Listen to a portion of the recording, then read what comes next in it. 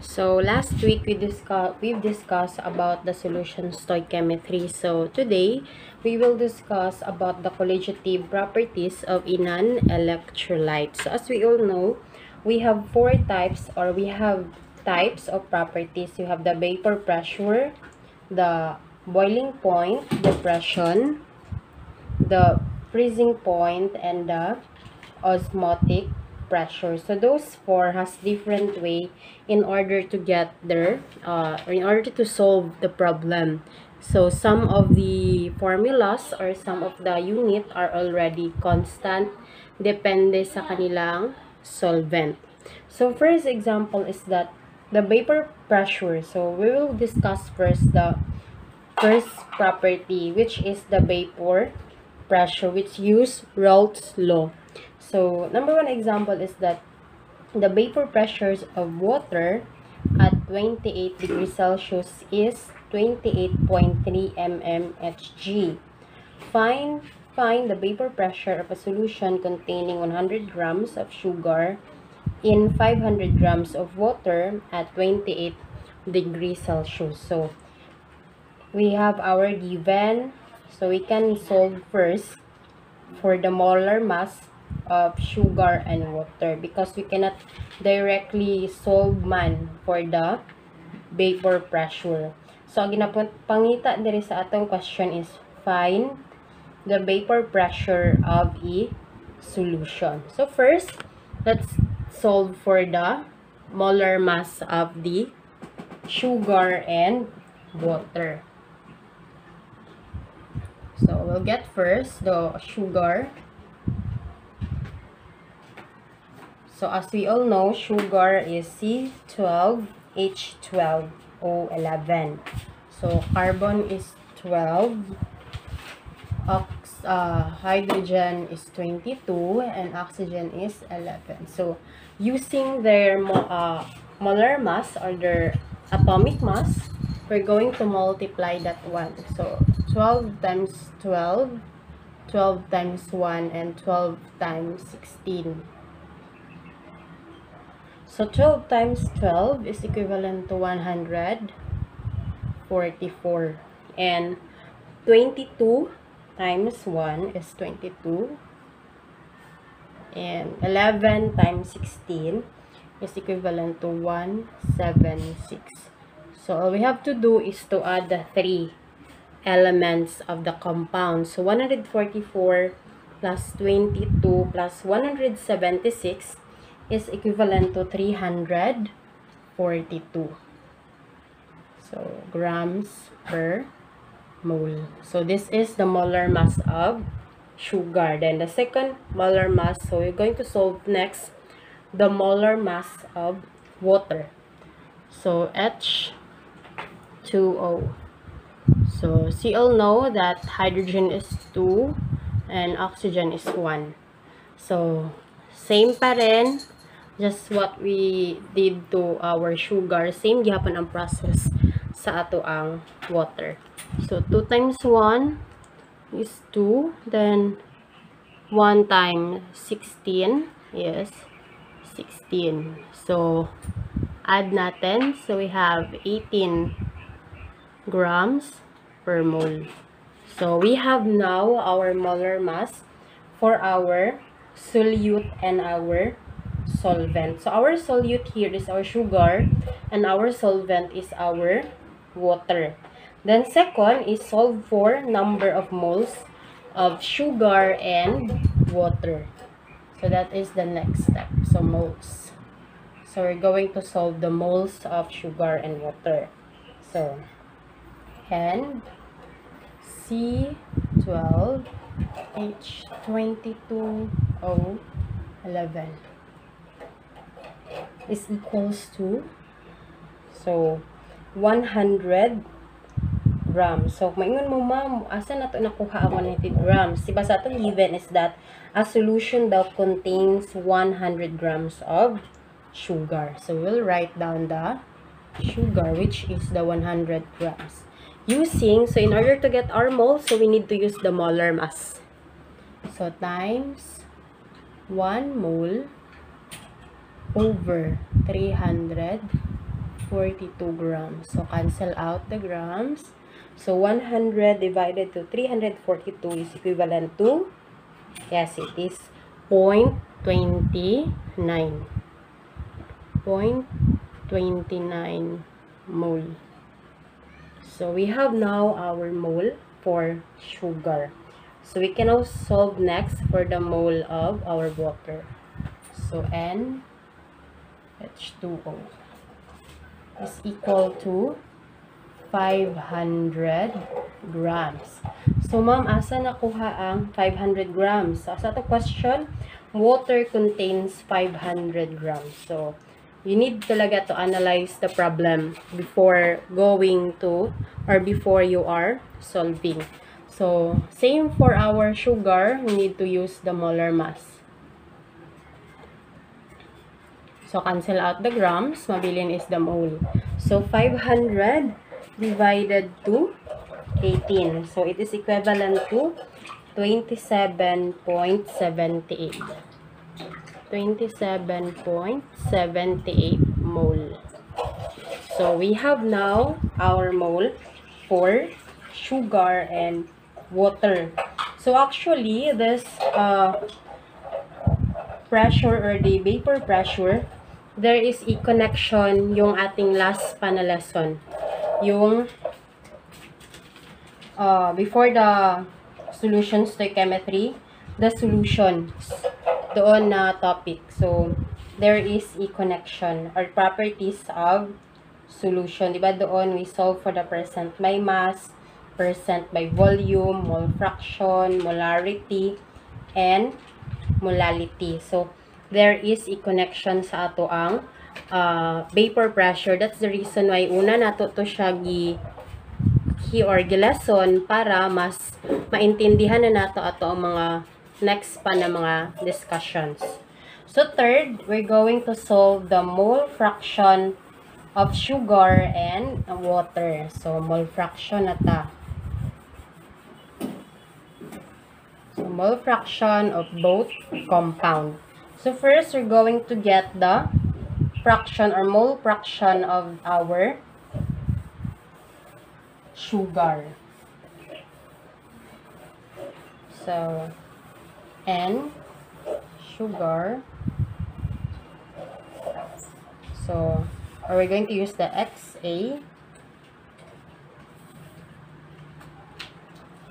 is equals to N B over N NA plus NB. So that is the the ano formula that we are going to use. So we're going to use the mole of sugar 0.29 over going to use also Na, which is the mole of the water, which is 27.78 plus the mole of our sugar, which is 0.29. So, by this one, we can now solve for our mole fraction of our sugar.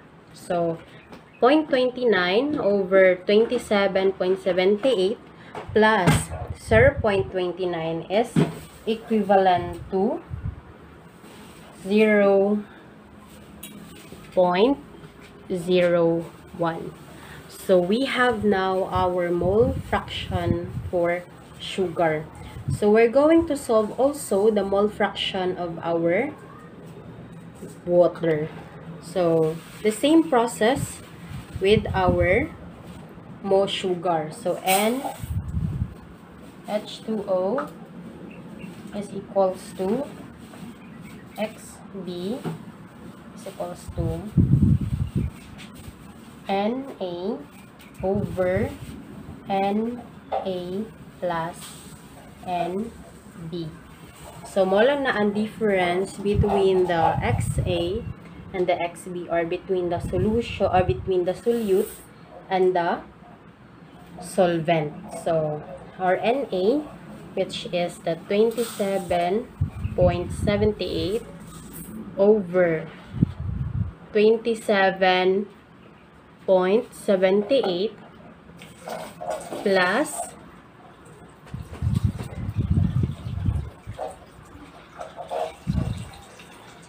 plus 0.29. So, we're going to add 27.78 and then we're going to divide it by 27.78 and once ang result sa 27.78 divided to 27.79. So, our mole fraction for our water is 0.99. So, that is the mole fraction of our water. So, hindi pa dyan nagtatapos ang ating uh, solving. Kasi hinahanap natin dito is the vapor pressure of the solution. So, we're going now. So, since nakuha na nato itong molar mass, the mole and also the mole fraction of our solute and our solvent, we can now solve for our uh, vapor pressure of the solution. So, actually, in this problem, pwede ta gamit og duha. We can use the Raoult's law or we're going to use the vapor pressure depression. So, first, we're going to use the Raoult's law. So, which is vapor pressure of solution is equal to xb multiplied to PA. Or it is the solvent and also so XB stands for the mole fraction of solvent and the PA then may nakalagay na MACO it is the vapor pressure of E. Pure solvent. Or wala din siya dali. Sorry. So ganyan ang formula ng Raoult's law XB or X multiplied P. So which which is kani it stands for mole fraction of solvent and this one stands for the vapor pressure of pure solvent. So let us continue. So we have our 0 0.99. 0 0.99. So this is XB is the mole fraction of our solvent. So, since our solvent is water man, so that's the reason nga kara ato ang gigamit to get our uh, vapor pressure. Multiply to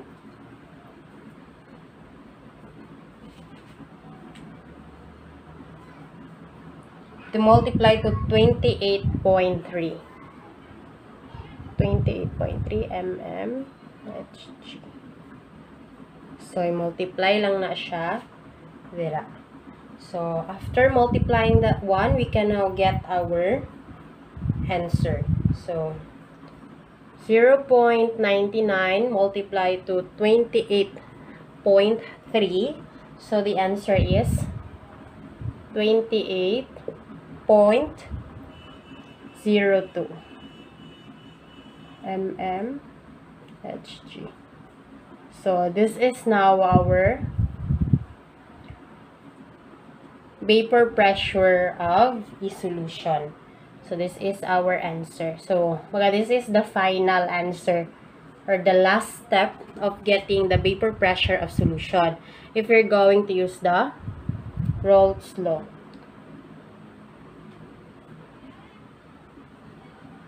Yan. So, this is the, the name of the formula that we've used. This one. Pero, kung gusto niyo itong the other way, we have also, if we're going to use the vapor pressure depression. So, yun siya ang process. So, this is the formula that are we going to use.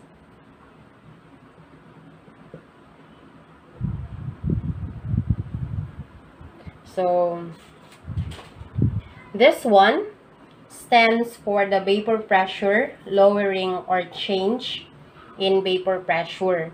And kanina naman siya stands for the mole fraction of the solute.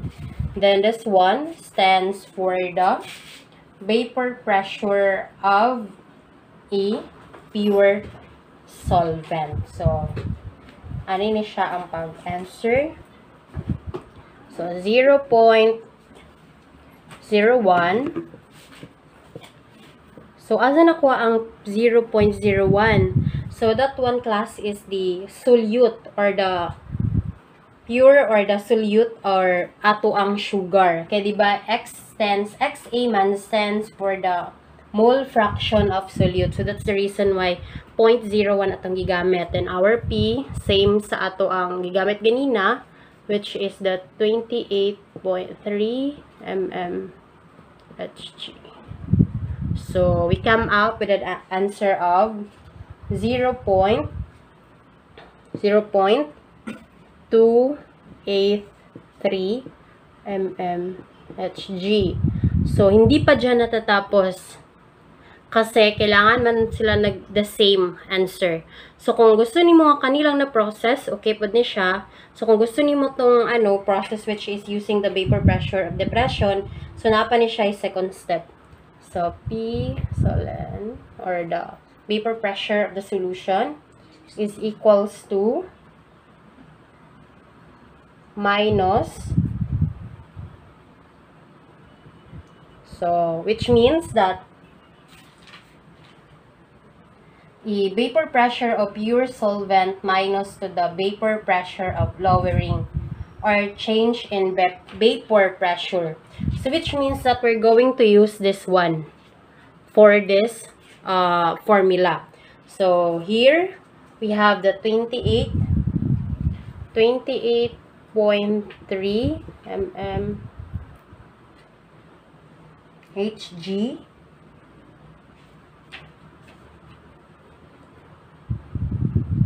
G minus so which is 0 0.283 so if we're going to subtract or imong i-minus ning duha which is the change of pure or vapor pressure lowering or vapor change in vapor pressure and also the the ano vapor pressure of your solvent. So we will come up with the same answer. So, 28.02. So, as you can see, we have the same answer. So, pili lang kadira kung unsa imong gamiton. Basta we come up with the same answer and the right unit and also the right number na dapat nimo i-transpose sa each uh, formula.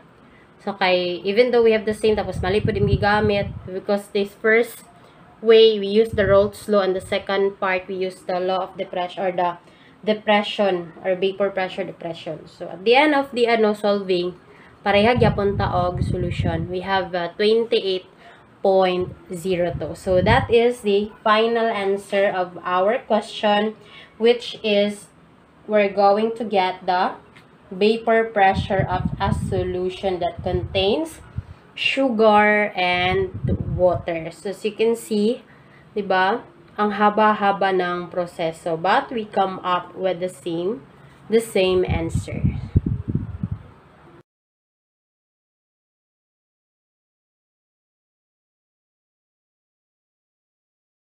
For second example, the same gihapon ang kailangan nato i-calculate. We're going to calculate the vapor pressure of solution, which again contains sugar and water. So in this ano problem, the molar mass is already given.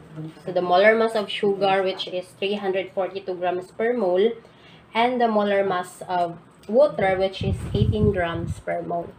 So, our sugar is 342. 342 grams per mole. and our water which is 18 grams per mole. So, given na siya sa ato ang question and sa or sa atong sample problem. So, all we have to do na lang is to directly solve for the number of moles, mole of fraction, and then solve for the vapor pressure of solution. So, in this second item, we were not going to use the ano, vapor pressure of the pressure, or vapor pressure depression. But, ano siya, kumbaga shortcut, kung ba kung given na ang molar mass, what is the other way? Kung dili na to gamitan ang vapor pressure depression, o diretsyo na to gamitan ang Raoult's law. So, first, solve for the moles. So, our sugar, which is sugar. So, we're going to get the mole of our sugar. So, we have 600 grams. Sugar multiplied to 1 mole over 342 grams. So, cancel out our grams. Then, matira na lang is the mole for the sugar. Since mole man natin napangita, di ba, para sa sugar. So, if you're asking, ma'am, asa nakuha ang 600?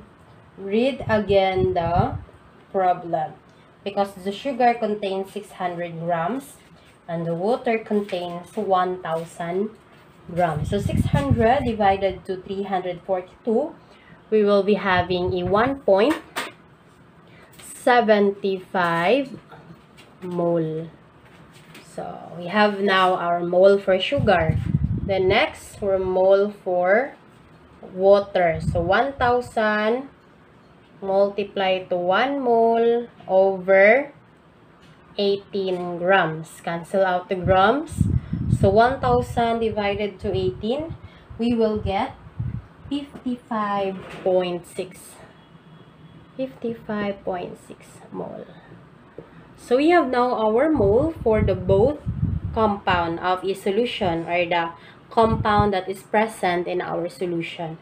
So, since ang kailangan lang nato kuhaon is the vapor pressure of solution. And we already know na diba that a Raoult's law, it is a vapor pressure of solution over the vapor pressure of pure a solvent multiply to multiply to the vapor pressure of pure solvent. So, we're just going to use the mole fraction of solvent and the vapor pressure of pure solvent. So, letter B, we're going to get the mole fraction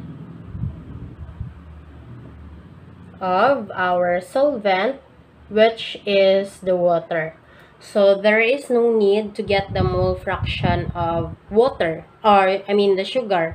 Pero if you're going to use the depression, so, you can solve talaga the mole fraction of sugar. But since here in my second example, dili na nako kuhaon pa ang mole fraction of our sugar. So, N H2O is equals to XB so equals to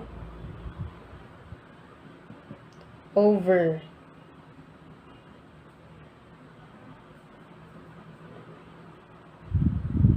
NA plus NB. So, transpose 55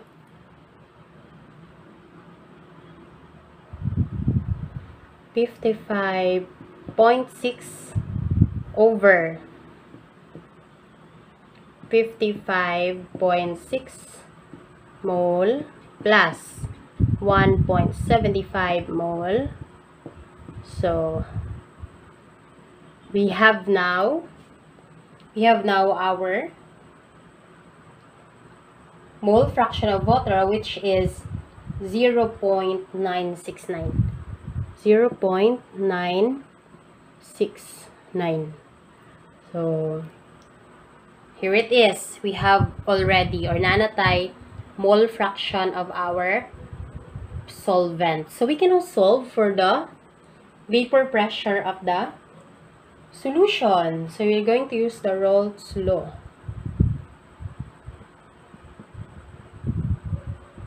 So where P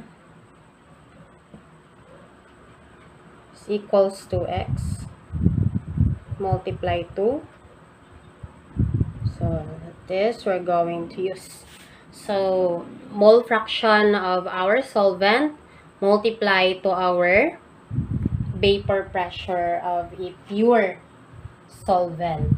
So, 0 0.969 multiply to vapor pressure of pure solution which is 23.6. 6. Yan.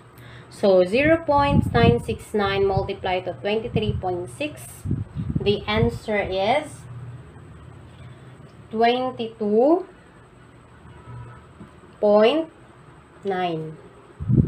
mmHg.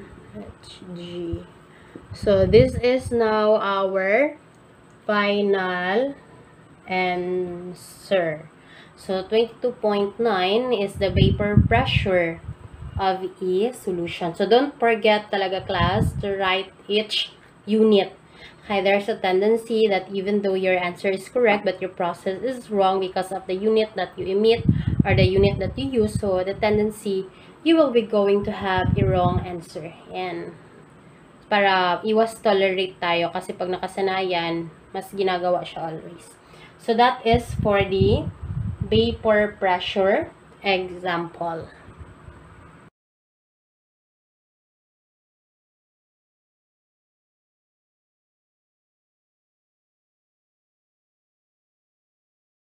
So, so since we are done with the pure or the vapor pressure, so the second uh, colligative properties of non-electrolyte solution is we have the boiling point. So as we all know, a boiling point is a solution wherein the temperature at which its vapor pressure is equal to the external atmospheric pressure. So don't worry about the formula class.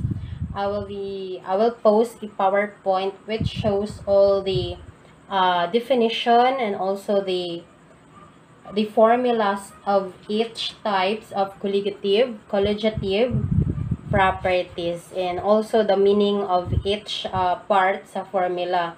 Kay para mas maintindihan nyo and also some part mga of the colligative properties there are part of the formula na constant ang ilahang number So, you can, ano lang, for example, there are given, patingala mo na ay naggawas na number with, bisan dili siya available sa inyuhang problem because those, ano man good part of the formula, ang, ang number nila is already constant and we can't change that one. Labi na mga boiling point, freezing point, so di gini mo na siyang bago. Like sa water, di ba, constant pagit ang zero in terms of freezing Then, ang in terms of boiling, constant tapod na ang 100 degree Celsius. So, this second colligative properties is boiling point. So, we have an example. So, according to this example, calculate the boiling point of elevation or boiling point elevation and the boiling point of sugar solution made by dissolving 218 grams sucrose in 756 grams of sugar, which means a sugar solution contains sucrose or sugar and water.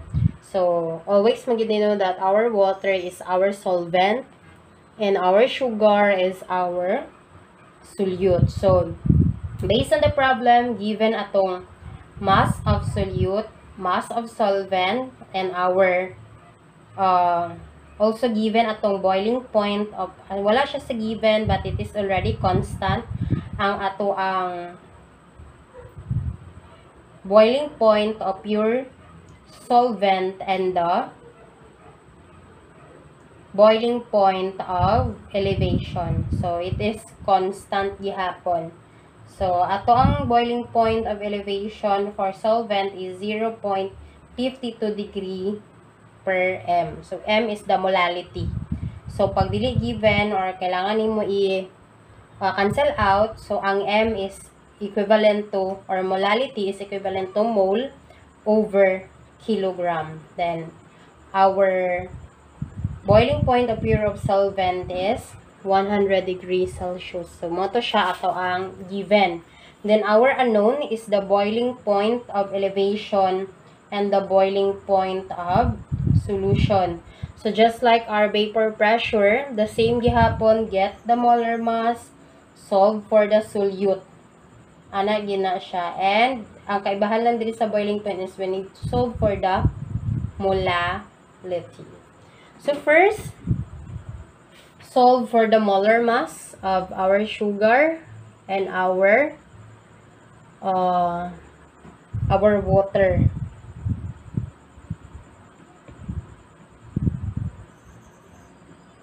Near our water. So, C, H, O. So, as we all know naman, di ba, that the sugar has a 342 molar mass or grams per mole. So, ito lang yapon siyang isolve para dili mo mga kuratan sa ato mga second part nganong asa man gikan. So, ato gyapon siyang i-by process. So, 12 1 16. So, 12 times 12 144 22 and also we have 176. So, i-add pa rin natin. So, we got 342 grams per mole. So, same with molar, with uh, sugars. Alaan po nato atong water. So, 1 times 16. So, 2. Then here, 16. So, add, we have our 18 grams per mole. So, we have now our molar mass for the sugar solution, the water and the sugar. Second is get the mole of solute. Which means that our solute is the sugar. So, mole of solute.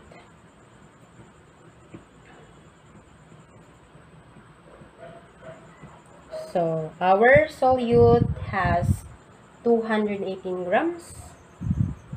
218 grams multiplied to 1 mole divided to 342 grams.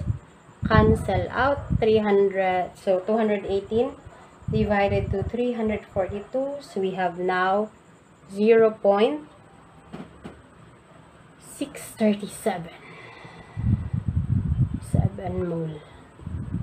So which means we have our mole of solute. And third, we get the mass of our solvent. So the reason why we are solving for the solute and solvent is that we could ano uh, get our molality. Diba itong molality is mole over kilogram. So we have 756 756 grams multiplied to 1 kilogram divided to 1000 grams. So we need to convert grams into kilogram. So we have now our 0 0.7 I mean 0 0.506 kilograms. So we have now our mole, our solute and our solvent. So, we can now solve for our molality. So, M is equals to mole over kilogram. So, copy this one, 0 0.637 mole over 0 0.756 kilogram. So, our answer is 0 0.843. So, naanatay molality. So, since we have now our molality, pwede na nato isolve atong boiling point of elevation and our boiling point of solution. So, letter E. So, boiling point of elevation.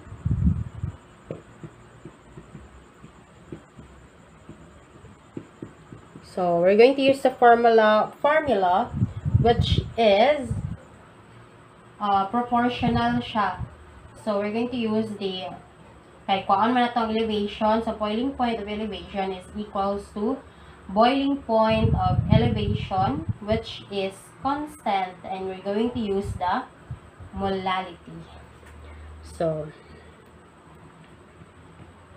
this is the formula for the boiling point of elevation is equal to and M. So, now we can solve for this.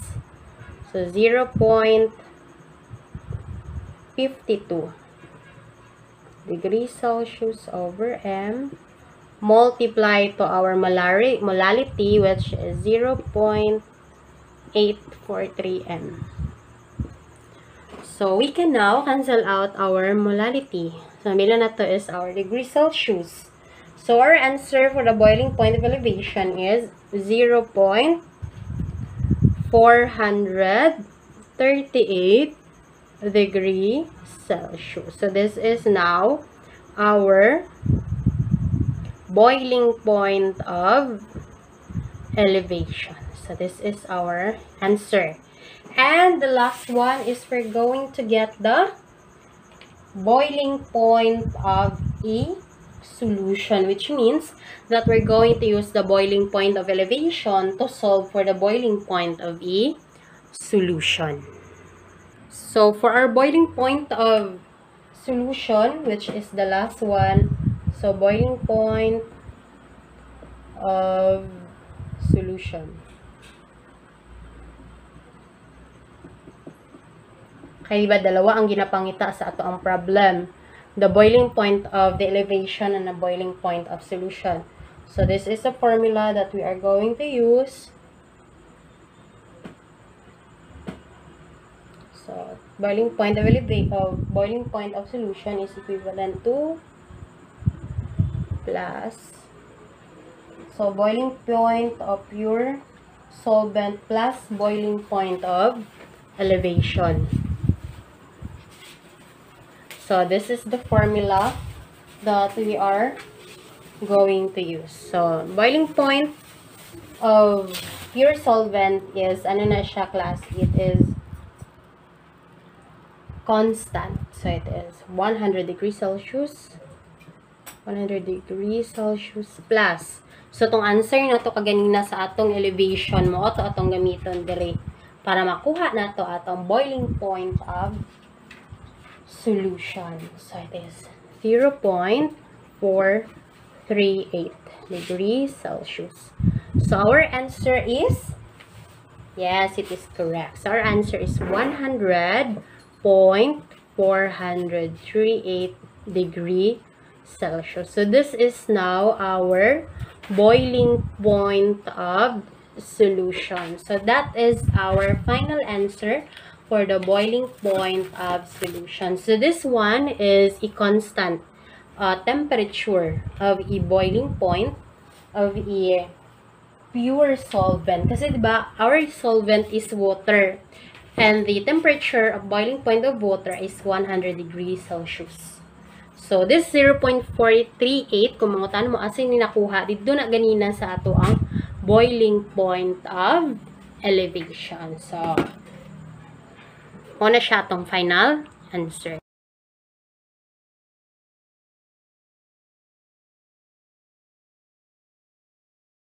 For number 2 example of boiling point, so dito naman is we're going to get or we're going to solve the grams of table, table sugar must be added to a 200 grams to raise the boiling point of water from 100 degrees Celsius to 102 degrees Celsius. So which means that we have the boiling point of the pure solvent, which is the water, 100 degrees Celsius.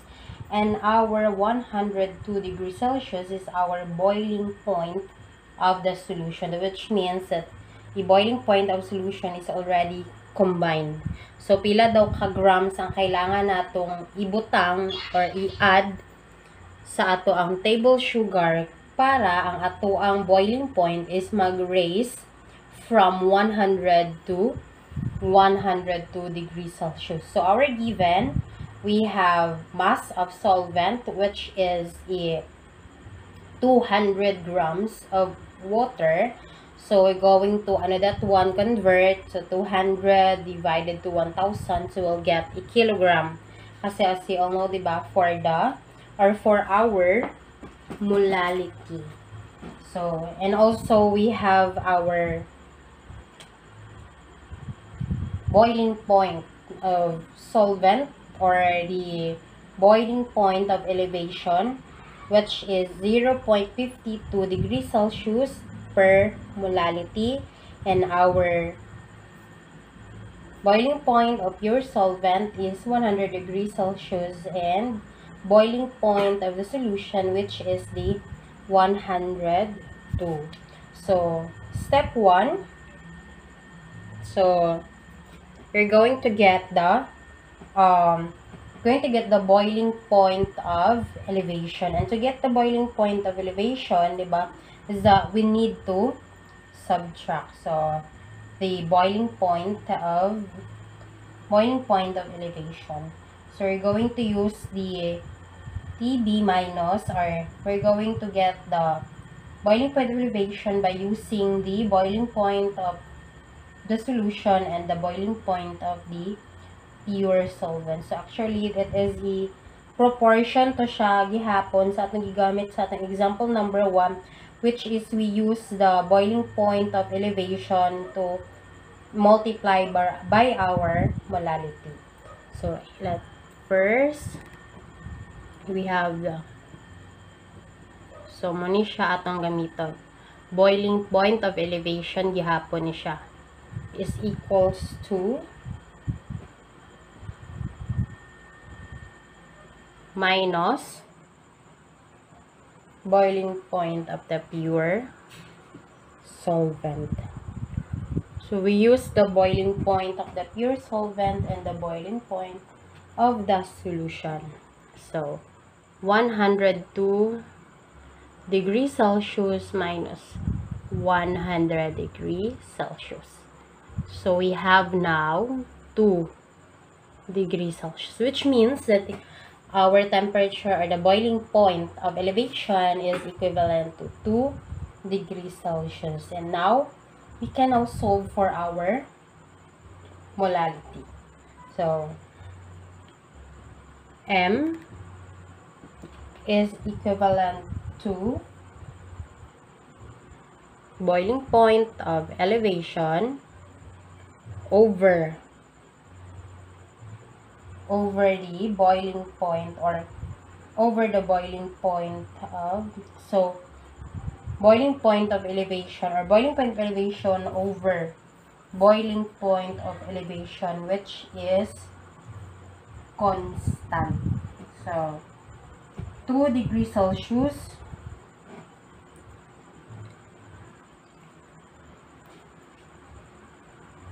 So 2 degrees celsius. 2 degrees Celsius. Over. So does this 0 0.52 is constant or boiling point of the solvent so is constant so 0 0.52 degrees Celsius per m So, cancel out the degree Celsius. Mabilis is our molality. So, as you all know that molality is equivalent to mole per kilogram. So, 2 divided to 0.52 is equivalent to 3.85. 3.85. m or 3.85 mole per kilogram. So we have now our molality. And the third one is we're going to solve the mole of our solute. So mole of solute is equivalent to molality multiplied to our mass of solvent. So, atong kuhaon no is the mole, mole of solute. So, as we all know, that mole of solute is equivalent to molality multiplied to the mass of solvent. So, molality, so molality is equivalent to 3.85 mole per kilogram. Multiply to so unsa tong i-multiply? So it is the mass of the solvent which is equivalent to 0.200 kilogram so in order for us to cancel out the kilogram and mabilin ato ang mole so cancel out the kilogram So, we can now have our answer. So, ma'am, if you're asking, asa nakuha ang 0.200? So, remember in our questions that our water contains 200 grams. As we all know that in molality, it is kilogram. So, kailangan na to siya i-transpose. That's the reason why it becomes 0.200 kilogram. Kaya ba? 200 grams multiply to 1 kilogram over 1,000 grams. Cancel out na to ang grams, mabilin ang kilogram. So, it is equivalent to 0.200 kilogram. So, dira na to nakuha ato ang mass of the solvent. So, mole of solute is equivalent to molality multiplied to the mass of solvent. So, 3.85 multiplied to 0.200. So, it is equivalent to 0.769 mole. So, we have now our mole of solute. Pero, ang ginapangit ta is the grams of our solute. So, we're going to solve for the grams of our solute, which is the sugar. So, naa naman tayo mole. So, paano nato makuha ang ato ang grams. So, first, we're going to get the molar mass of the sugar. So, as we all know that the molar mass of sugar is 342 grams per mole. So, kabalo naman tano kung paano nato na ginasolve atong molar mass. We can also solve for our mass of our so our solute. So, for the mass of solute, So, or the grams or the mass of solute. So, 0.769 mole multiply. So, kailangan na to makancel out ang ato ang mole. So, 342 grams over 1 mole. Kaya kung sa taas sa taibot ang atong mole, dili na to siya ma-cancel out. Cancel out the mole. So, we have now our mass of solute. So, which is, so 0.769 multiplied to 342. So, we have 263 grams of our solute, which is the sugar. C12H22O11. So, this is now our mass of solute. So, this is what happened if we're going to solve for the mass of our solute. So, that is our final answer.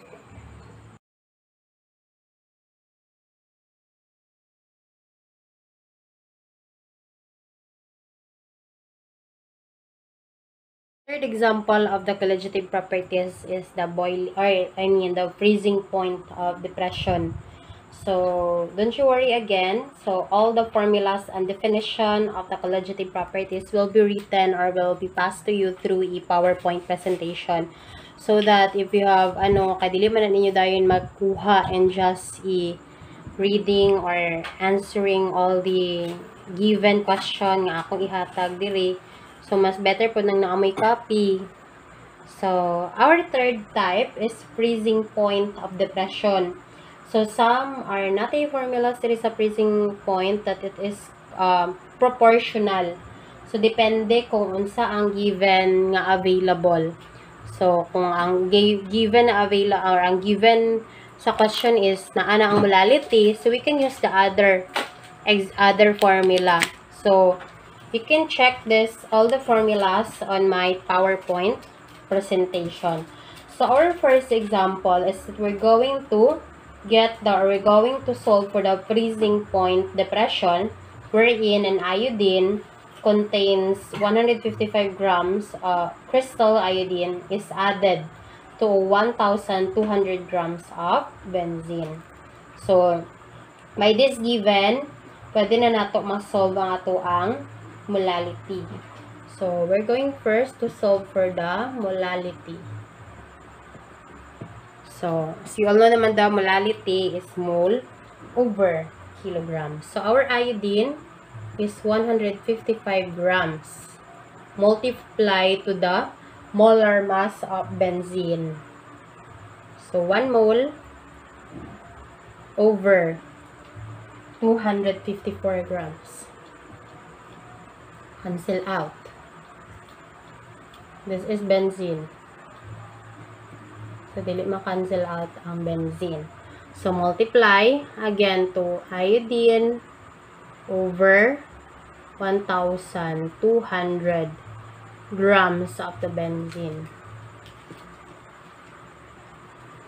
So, since dili man nato makuha atong molality because it is grams, so we need to convert. So, 1,000 grams over 1 kilogram. So, cancel out the grams. So, ang mabili na lang nato is our mole and our kilogram. So, 155 divided to 254 divided again to 1,200 and then multiply to 1,000 grams. Our answer is Yes, it is 0.509 m. Small m class hakay, it is molality. Remember, pag molality, small m, molarity, big M or capital M. So, as you all know that M is also equal to mole over kilogram. So, we can now solve for our freezing point of depression. So, since we have our molarity, so pwede na nato siya gamiton kay our molar freezing point, the point of depression is constant man. So we can now solve for our freezing point of depression.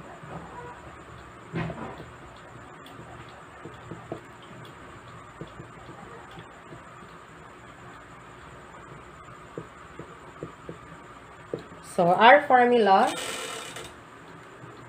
freezing point of depression is equal to the molal molal freezing point.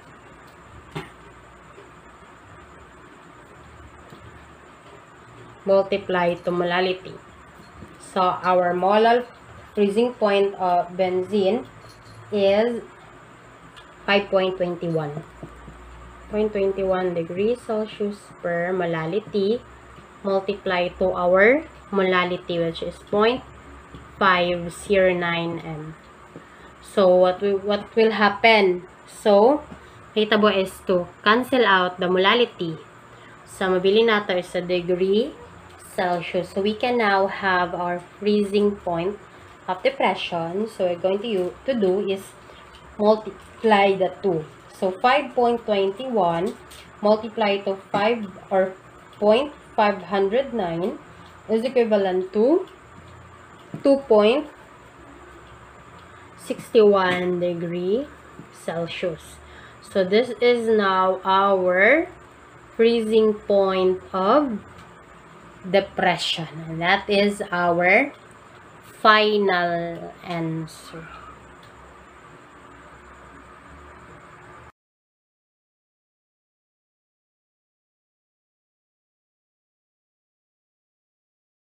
So, for our solution, so we're going to solve for the boiling point and the freezing point. So, di ba, we already know that the solution contains a benzene and biphenyl. And we're going to get the boiling point and the freezing point of the solution. So, which is dalawa atong kwaon. Duha sa isa ka question. So, I hope you follow, followed. So, our given is, our given ato here is a biphenyl contain, contains 2.40 grams and our benzene contains 75 grams and the molar mass of the bi biphenyl is 154 so we're going to solve for the boiling and the freezing point so TB we have the 8.01 and the TB is the 2.53 degree Celsius per molality. So, this part is for boiling point and dito na part is for the freezing point. So, constant na siya class. So, you cannot change that one. The freezing point and the boiling point of benzene and biphenyl or the by or the benzene. So, first, we're going to solve the boiling point before tama proceed sa ato ang freezing point. So, step 1, is we're going to solve for the molality. So, where is, which is molality.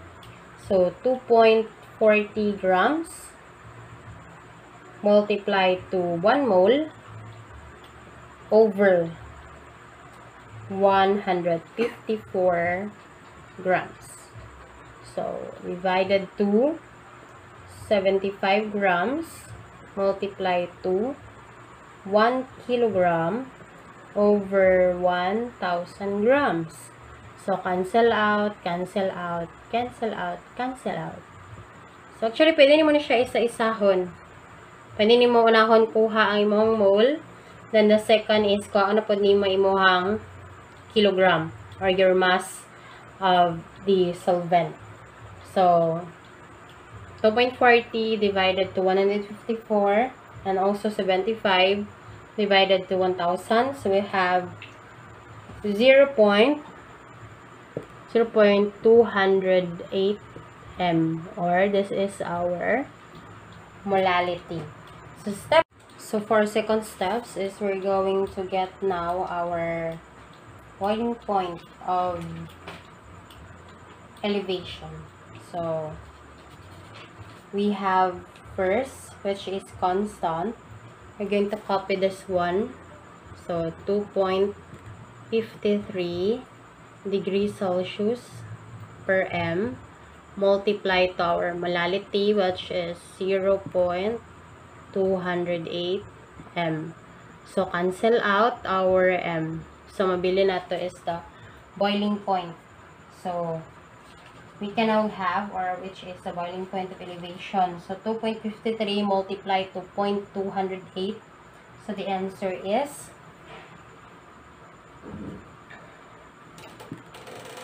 zero point five to six degree Celsius. So that is our answer. And third step, in order to calculate the boiling point, so step 3, so, AB is equals to plus boiling point of elevation. So, we're going to add lang. So, copy this one. 80.1 degrees Celsius plus the boiling point of elevation 5 to 6 degrees Celsius. So, our boiling point is 80.6. 80.6 degree Celsius. So, that is our boiling point of the solution. So, since we now, or tapos na natin isolve yung ating boiling point, so we'll proceed to the freezing point of solution. So, yung freezing point naman ang ating isosolve. Freezing point of solution. So, step 1 is same kung unsa ang atong gisolve sa step 1 sa ato ang boiling point. So, we just copy or use the value of molality from the boiling point for step 2. So, which means that our step 1 is considered na. So, copy na lang the molality of the step 1. So, our molality is 0.208. So, we can now proceed to step 2. So, according to step 1, copy the molality in order to solve our problem. So, our formula is equals to EFM. So, we will use the proportion. So, where it is freezing point of depression is equivalent to molar freezing point multiplied to the molality. So, copy this one. Just copy 5.12 degrees Celsius per molality multiply to the molality which is 0.208 m cancel out then our freezing point of depression is 1.0 1.06 degree Celsius. So this is the answer for our step 2 or the boiling point or the freezing point of depression. Then step 3, so in order to get the freezing point of solution, so this is our formula. is equals to minus or sub subtract so that, that is 1 so to get the freezing point of solution is equivalent to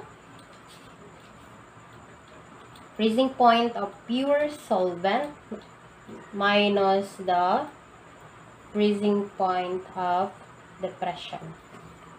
So just copy 5.5 degrees Celsius subtract to 1.06 degrees Celsius.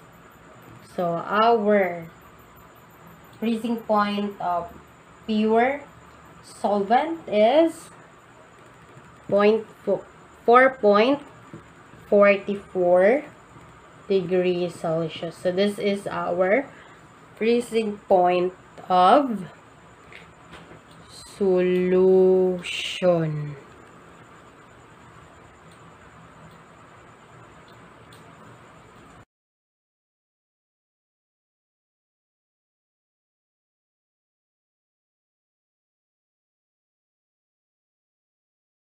Our last type of colligative properties is osmotic pressure. So, if you're familiar with osmosis, so there is a relationship with it.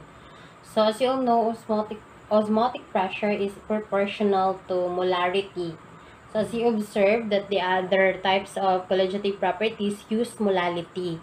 But here, in osmotic pressure, we use the molarity, where in molarity is equivalent to solute over solution or volume of solution. So, yun yung pinagkaiba nila ni molality because molarity is mole of solute over volume of solution while or liter of solution while the molality is used mole of solute over the kilogram or the mass of solution. So our osmotic pressure is in yung unit is pi so use pi or radius partial radius is equivalent to MRT or molarity multiply to the gas constant, multiply, or gas constant multiply to the temperature in Kelvin. So, so you'll know that Kelvin, but for example, this is osmotic pressure, equivalent to MRT. So, NM stands for molar molarity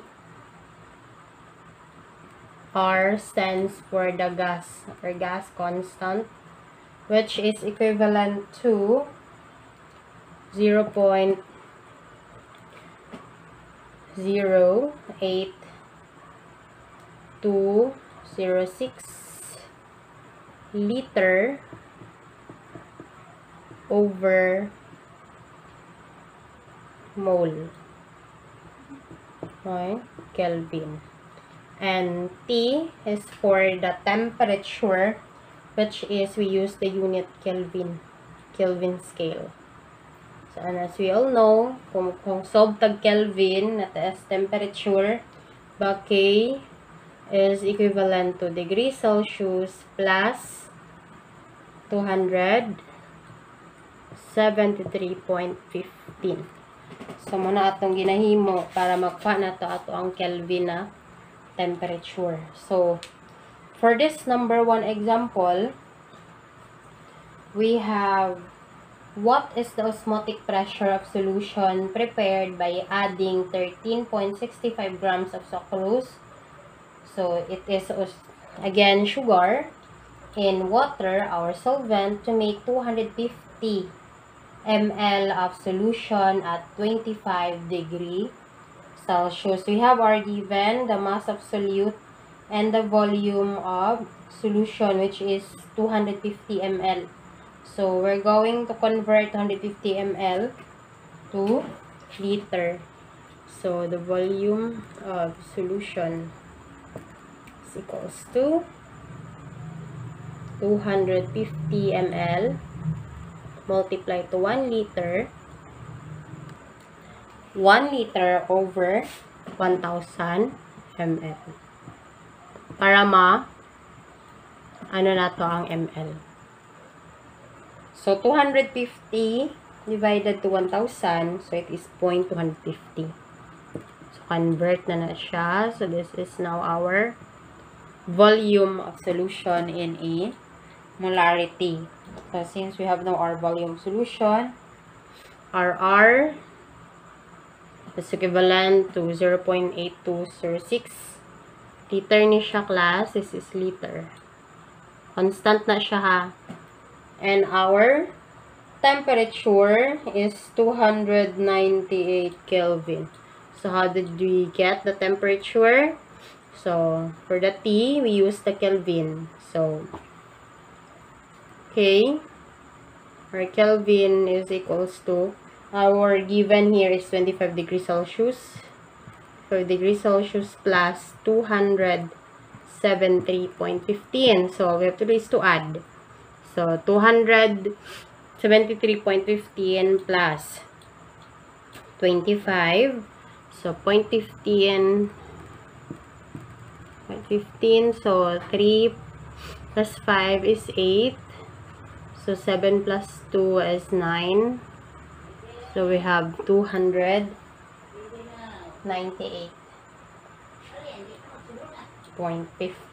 Kelvin. So, we have now our temperature. So, ayan na siya na natong given. So, you can now solve for first the molar mass. So, as you know, molar mass of our sugar, which is C12H22O11. So, CHO. So, mga kadugayan class, memorize na ninyo ning molar mass sa sucrose or sa ato ang sugar 144 22 176 so it is 342 grams per mole. So we have now our molar mass and solve next is we're going to solve for the solute.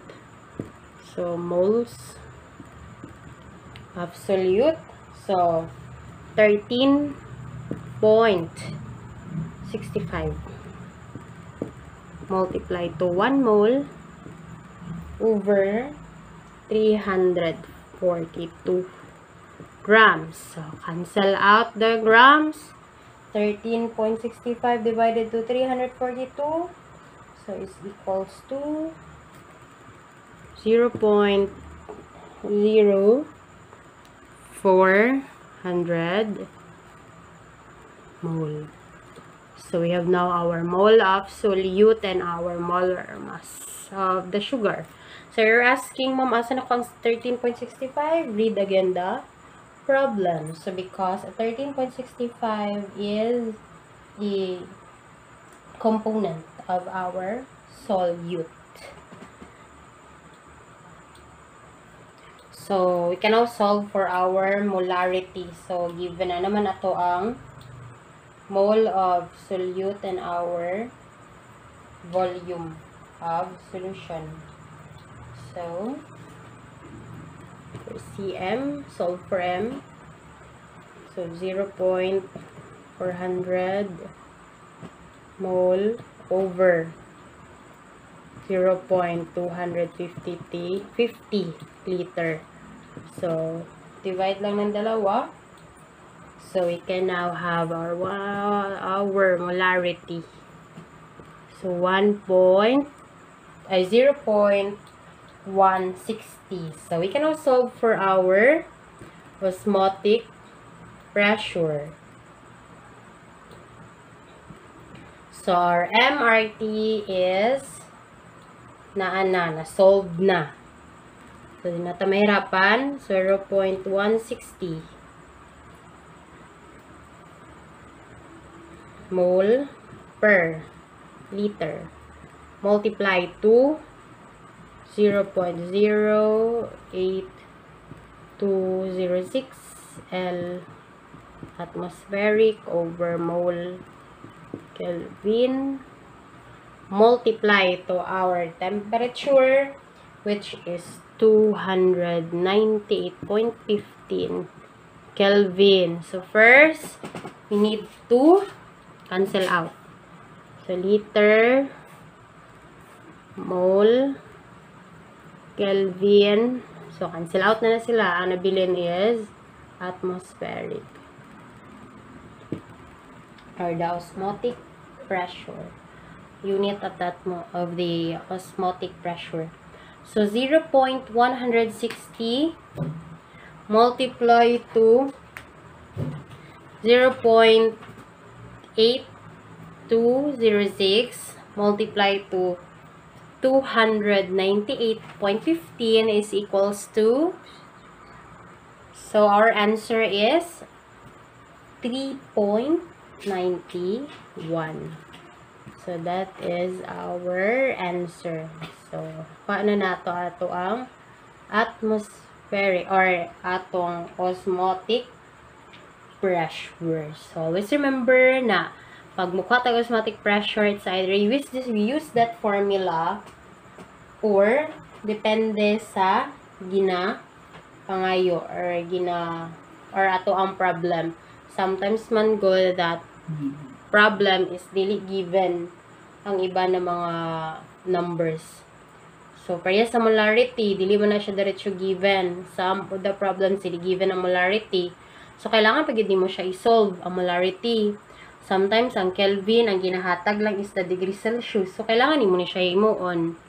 So, you're just going to add lang. Pag molarity, molarity divide lang.